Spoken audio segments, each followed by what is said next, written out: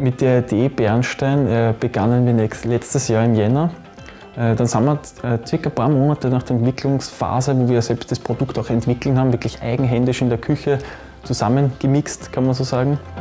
Bernstein ist nichts anderes als die Verbindung aus dem fernen Abenteuer vom grünen Rohkaffee, also dieser ungerösteten Rohkaffeebohne, mit heimischer Vertrautheit der österreichischen Produkte, sprich Dirndl, Holunderblüten und Verschü, das ist saurer Traubensaft. Dem einerseits dem, dem Bären, dieses starke, standhafte Tier der Wälder, das, das Viech, das geht seinen Weg, das lässt sich nicht umstessen, das war uns wichtig. Und andererseits dem Bernstein wiederum, dieses fossile Harz, das die Qualität quasi in der Flasche aufbewahren soll.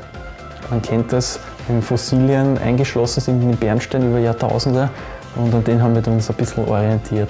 War natürlich ihre, ihre cool, um sein eigenes Produkt im Lokal kaufen zu können. Ja.